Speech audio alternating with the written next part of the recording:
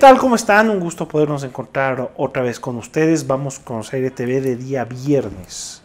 Pasan cosas que la verdad eh, eh, configuran un escenario ideal para este programa porque deben aparecer aquí en medio de marquesinas con todas las luces posibles.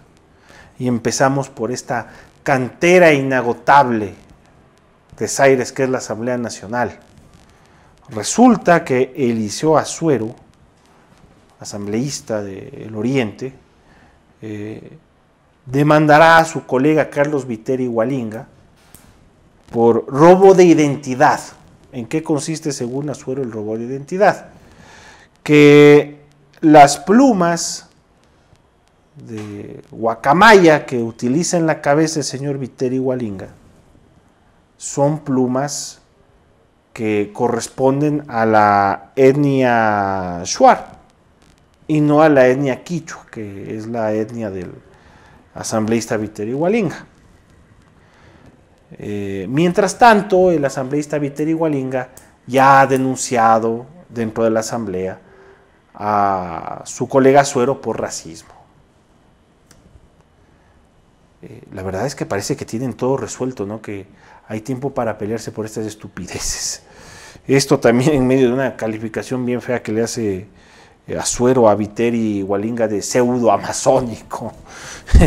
Eh, la verdad es que existen, eh, al parecer, demasiadas prioridades ya resueltas y hay tiempo pues para perder en tonterías. Porque a mí honestamente, más allá de resultarme folclórico el hecho que el asambleísta Viterio Gualinga se, ponga plumas de guacamaya, perico, de lo que sea.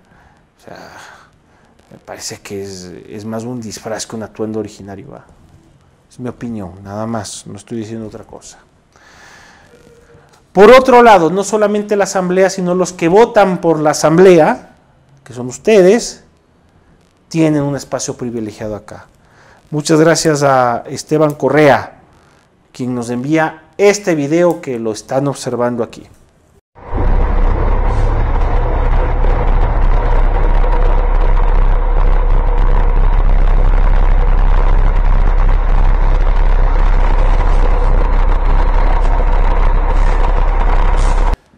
Pues resulta que en la terminal del trole o en la terminal de transporte de Carcelén, eh, la gente no hace el recorrido completo de dar la vuelta a la plataforma, sino que se vota por las eh, ubicaciones que están abiertas para acceder a las unidades. Son vagos, son cómodos y son audaces, porque se arriesgan que venga una unidad y los aplaste. Y cuando los aplaste como cucarachas, seguramente estarán llorando hay que salir por la puerta de salida. Y la puerta de salida no es de esta, no es de esta rampa de acceso, pues. Ojalá alguno salte y se parta las patas o se parte un tobillo, aunque sea. Hay unas viejas ahí que se les ve haciendo esto. Es increíble. Sale, no hay que salir por ahí. Hay que salir, hay que dar la vuelta a la plataforma y salir por las gradas. Es increíble eso. Siguiente, como siempre en las calles, ¿no?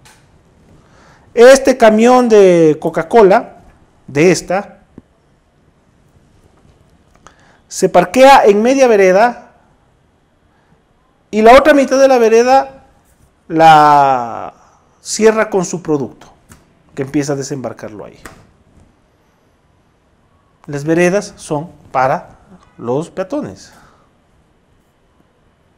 No son para desembarcar ni para meter el camionzote enorme ahí con carga.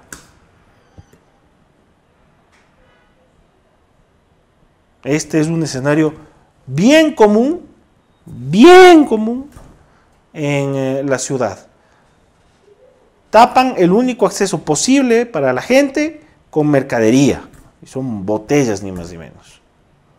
Y el otro, pues el camión está parqueado en media vereda. Vámonos a la pausa, estamos regresando en un momento más. Tenemos dos muestras más para este gran museo de la ecuatorianidad que es Zaire TV. Ya volvemos.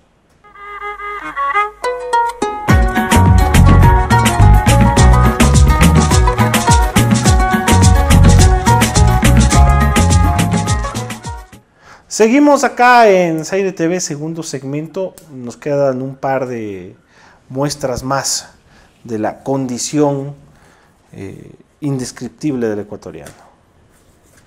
José Arauz envía. Hay una sala de lactancia en el CCI, que es una sala a la cual pueden acceder las mujeres para dar de lactar. Eh, está bien, si el centro comercial así lo considera, me parece que es una, iniciativa eh, razonable. No, es, no se puede estar hacer una observación a eso. A la final es potestad del centro comercial hacer lo que quiera. El problema es, para variar, el uso que se les da a las cosas. Según esta foto que nos envía el señor Arauz, hay un grupo de viejas chismosas ahí que están haciendo cualquier cosa menos lactar. Están lactando del prójimo. Eso es lo que están haciendo. Están lactando del prójimo. Están echando chisme, cuento, argüende.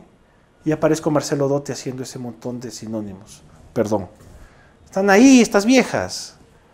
Ninguno está dando el lactar. Entonces yo ya sé lo que pasa. Cierran porque no se le da el uso, porque no hay nadie quien use, porque se le puede dar una mejor utilización de ese espacio para incluso hasta hacerlo rentable.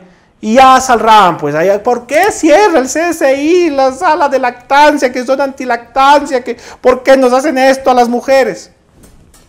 Si cierran es porque están estas viejas ahí, pues, conversando, osando ahí. No tendrían que hacerlo, pues.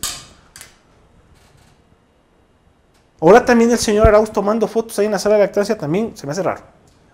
También se me hace raro. Así que mucho cuidado.